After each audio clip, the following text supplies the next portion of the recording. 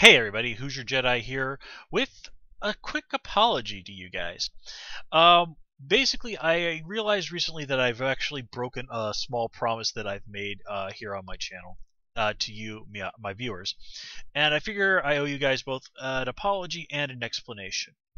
And what the situation is that earlier uh, in my channel, one of my previous channel updates, I promised that I'd be doing reviews of uh, Total Drama Presents The Ridonculous Race. And I did fully intend to do that. The problem was that it at the time they hadn't been announced when that show would start. And I meant to keep an eye out, out there for when the show would start.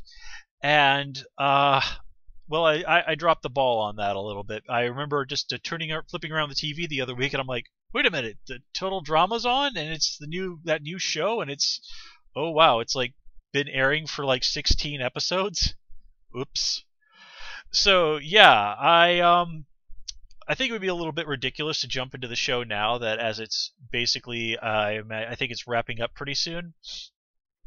So yeah, sorry guys, I, I, I dropped the ball. Um, September was uh, a pretty crazy time for me at work. It's actually been uh, pretty crazy the last couple of months uh, at my job, and it's only in the last few weeks started to settle down, but even then, uh, it's uh, it can be it can be pretty nutty, and uh, it can also result in me sometimes coming have coming home and having to do two hour, an hour and a half, hour, sometimes an hour to two hours of work at home just to be ready for what's going on uh, the next day. So, you know, that kind of leaves you with a lot on your mind.